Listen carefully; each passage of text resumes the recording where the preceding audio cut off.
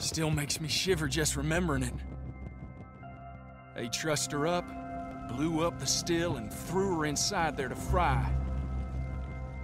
I couldn't do nothing but watch as they held me back. The flames just kept getting higher. Whole place started caving in. I swear, it's the only time I ever seen Hickson smile. Burning a woman alive. Probably got a medal for it, too. Last thing I see is they're dragging me away.